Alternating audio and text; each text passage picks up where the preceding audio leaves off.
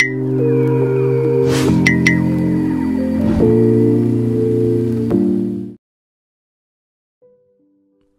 là một bài viết từ tháng 6 năm 2018. Tuy nhiên rất nhiều kiến thức trong bài vẫn còn nguyên giá trị cho tới ngày nay. Đó là lý do tại sao chúng tôi muốn truyền thể và gửi đến tất cả các bạn. Giờ thì chúng ta cùng bắt đầu thôi. Chủ đề nóng nhất những ngày qua trên các trang mạng xã hội chắc chắn liên quan tới đề xuất thành lập ba đặc khu kinh tế tại Việt Nam. Bài này nhằm mục đích tổng hợp và chia sẻ những tìm hiểu, nghiên cứu trong thời gian tương đối gấp rút của người viết, khoảng 2 ngày, dựa trên những câu hỏi chính mà tác giả tự đặt cho mình. Đặc khu kinh tế là gì? Nó bắt đầu từ đâu? Tại sao lại cần xây dựng các đặc khu kinh tế? Và liệu nó có phù hợp với điều kiện và hoàn cảnh Việt Nam? Đây đồng thời cũng là bài viết đầu tiên của tác giả WikiWi trên Spyroom. Đặc khu kinh tế là gì? Đặc khu kinh tế Special Economic Zone SEZ là một khu vực địa lý đặc biệt với những luật lệ, quy định về kinh tế và thương mại khác với những khu vực khác trong nước. SEZ thường được đặt gần khu vực biên giới hoặc cảng biển lớn với rất nhiều ưu đãi về thuế khóa, thủ tục hải quan, hành chính, vân vân, nhằm mục tiêu thu hút đầu tư, đặc biệt là vốn đầu tư nước ngoài, kích cầu thương mại và tạo thêm nhiều công an việc làm. Lịch sử Các khu vực mậu dịch tự do đầu tiên được hình thành vào khoảng năm 1550 trước công nguyên dưới nền văn minh cổ đại Phoenicia, vùng eo biển Liban và Syria ngày nay, dựa theo đặc điểm tổ chức hành chính theo kiểu thành bang. Trong đó mỗi thành bang là một đơn vị độc lập về mặt chính trị. Điều này cho phép mỗi thành bang phát triển thể chế với những luật lệ thương mại riêng, tự do và đầy cạnh tranh, kết hợp với vị trí địa lý đã góp phần thúc đẩy mạnh khả năng thương mại và cả quân sự bằng đường thủy của cả nền văn minh. Mô hình SCG hiện đại lần đầu tiên được thành lập tại sân bay Shannon, Ireland vào năm 1959 và tới thập niên 1980, nó thực sự thu hút sự chú ý khi Trung Quốc triển khai mô hình này. Năm 1979, lãnh đạo Trung Quốc khi đó là Đặng Tiểu Bình đã chỉ đạo thành lập đặc khu kinh tế đầu tiên tại Thâm Quyến, với lợi thế địa lý nằm giáp Hồng Kông, khi đó còn đang là thuộc địa của Vương quốc Anh và có một nền kinh tế vô cùng thịnh vượng. Theo The Economist, hiện nay trên toàn thế giới có hơn 4.000 SCG cung cấp việc làm trực tiếp cho khoảng 68 triệu người. Những trông chờ vào SCG từ một làng trài vô danh với vài chục nghìn dân, Thâm Quyến vụt sáng thành một siêu đô thị với 12 triệu dân cùng hơn 1.000 cao ốc và trở thành thủ phủ công nghệ cao của Trung Quốc, cường quốc kinh tế lớn thứ hai thế giới. Năm 2016, GDP của Thâm Quyến đạt 294 tỷ USD, nhiều hơn 30% toàn bộ GDP Việt Nam, 220 tỷ USD. Những thống kê trói lọi đưa Thâm Quyến trở thành một hình mẫu tiêu biểu cho sự thành công của SCG và chắc chắn đã tạo nên những sự kỳ vọng không hề nhỏ trong việc xây dựng các đặc khu tương tự có khả năng tiệm cận mức độ thành công như Thâm Quyến. Với nền kinh tế Việt Nam, trong hơn chục năm qua không hề thiếu những bài đánh giá khách quan và chủ quan, trong lẫn ngoài nước về tiềm năng và triển vọng phát triển thành một con rồng châu Á.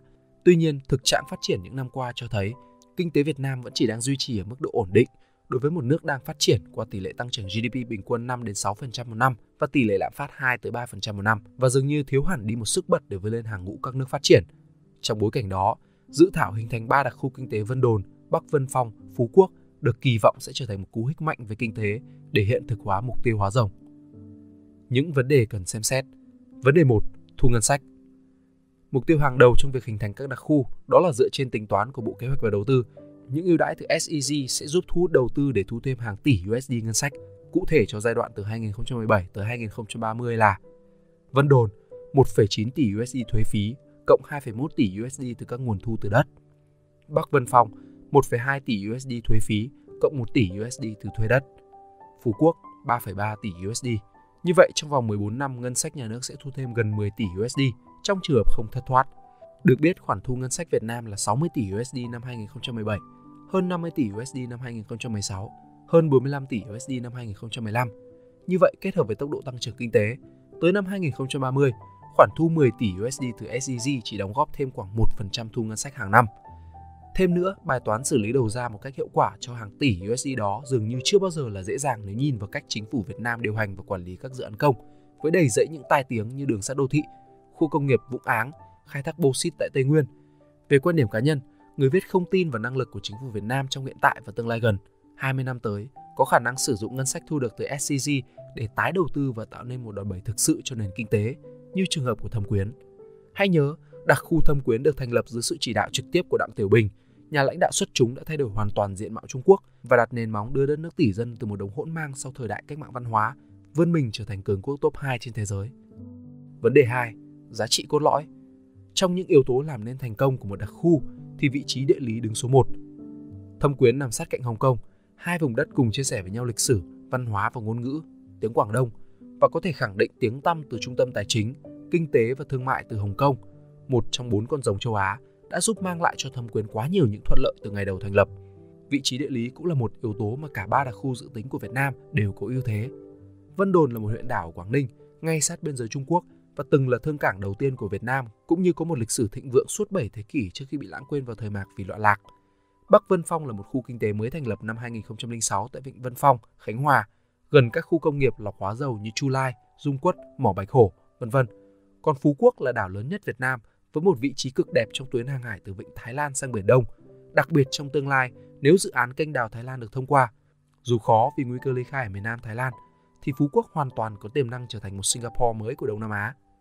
Tuy vậy, yếu tố quan trọng thứ hai là chiến lược phát triển đặc khu, hay nói cách khác là giá trị thương hiệu hay giá trị cốt lõi của đặc khu dường như chưa được quan tâm đúng mức.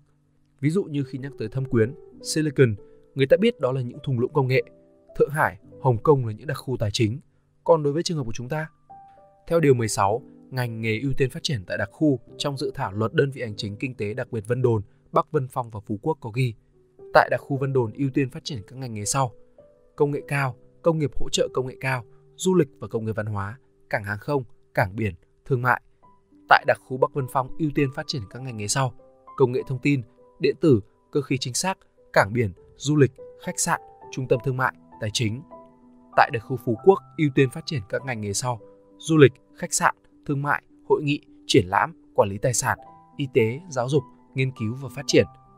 Dễ thấy là chúng ta đang đầu tư quá giàn trải. Du lịch, khách sạn, thương mại xuất hiện trong danh mục ưu tiên của cả ba đặc khu. Cảng biển xuất hiện ở hai đặc khu. Kết hợp giữa công nghệ cao với du lịch và văn hóa tại Vân Đồn, dự tính biến Bắc Vân Phong thành trung tâm thương mại tài chính, trong khi không khai thác thế mạnh gần Nha Trang của đặc khu này. Vẫn biết kinh tế là đa ngành, nhưng thực sự cần có những bước đi cụ thể ngay từ bước hoạch định chiến lược nhằm xây dựng cho từng đặc khu những giá trị cốt lõi riêng và đặc trưng.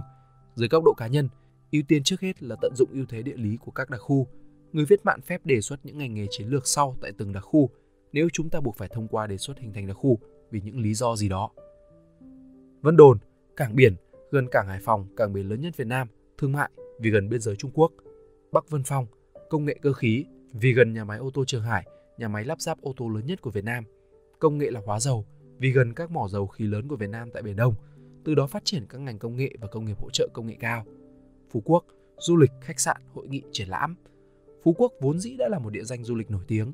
Trong các chia sẻ về đặc khu có nhắc rất nhiều tới việc khai thác casino dựa trên những điều kiện văn hóa, kinh tế ở Việt Nam thì chỉ nên khai thác casino ở Phú Quốc với những lý do xin phép được nhắc tới trong các bài viết sau. Vấn đề 3. Thời điểm Một trong những lợi ích lớn nhất của đặc khu là phòng thí nghiệm thể chế, qua đó tạo ra những bước đột phá về kinh tế. Sự thành công của Thâm Quyến đã giúp Trung Quốc tự tin hơn trong việc mở những đặc khu tiếp theo. Tuy nhiên cần nhìn nhận rõ về tính thời điểm khi thập niên 1980 là giai đoạn mà Trung Quốc tiến hành cuộc cải cách kinh tế triệt để sau những năm tháng lụn bại và trì trệ dưới thời Mao Trạch Đông và nhóm tứ nhân bang. Trong bối cảnh đó, Thâm Quyến với tư cách là đặc khu đầu tiên được sử dụng như một phép thử đặc biệt trong tiến trình cải cách và mở cửa nền kinh tế Trung Quốc và nó đã thành công một cách rực rỡ. So chiếu với trường hợp của Việt Nam, dường như đã quá muộn để chúng ta sử dụng các đặc khu như một bài test thể chế. Tiến trình mở cửa nền kinh tế của Việt Nam đã diễn ra được hơn hai chục năm, thành công có nhiều, hạn chế không ít. Nhưng những kỳ vọng về khả năng mang lại sự đột phá trong thể chế đặc khu dường như đã không còn, khi mà ưu đãi lớn nhất ghi nhận được trong dự luật đặc khu là về thuế thu nhập doanh nghiệp hay thuế thu nhập cá nhân, thuế thuê đất, nước vân vân đã quá lỗi thời. Các doanh nghiệp cần hơn những ưu đãi trên quy mô vốn hay hiệu quả hoạt động thay vì ưu đãi đơn thuần trên lợi nhuận. Chưa hết, chính sách ưu đãi thuế cũng sẽ gây nên những lo ngại nhất định nếu giới đầu tư đổ xô về các đặc khu để hưởng lợi, tạo nên những thiên đường thuế nhưng về thực chất không tạo thêm nhiều của cải vật chất cho xã hội. Như vậy, đặt qua một bên hai vấn đề nhức nhối và gây bức xúc nhiều nhất trong những ngày qua là thời hạn thuê đất 99 năm.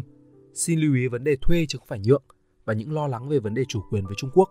Rõ ràng vẫn còn tồn tại rất nhiều vấn đề thực tiễn hơn liên quan tới tính khả thi trong việc hình thành đặc khu kinh tế tại Việt Nam.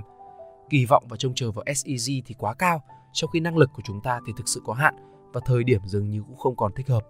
Thay vì bức xúc với những thuyết âm mưu về khả năng thôn tính Việt Nam của người láng giềng 16 chữ vàng thông qua SEZ, nếu thực sự quan tâm tới vấn đề này, mỗi công dân Việt Nam chúng ta nên chăng hãy thử một lần tìm hiểu về SEZ và dự thảo luật SEZ để có cái nhìn cụ thể hơn về dự án và nếu có thể đóng góp ý kiến thông qua phần ý kiến người dân. Tương lai và đất nước phải được xây dựng nhờ vào những hành động cụ thể và thiết thực, không phải dựa trên những viên gạch đến từ mạng xã hội. Trên Spy Room còn một bài viết khác cùng chủ đề của tác giả Husky Wanna Fly. các bạn có thể vào bài viết của tác giả WikiWi và kéo xuống cuối cùng để đọc thêm.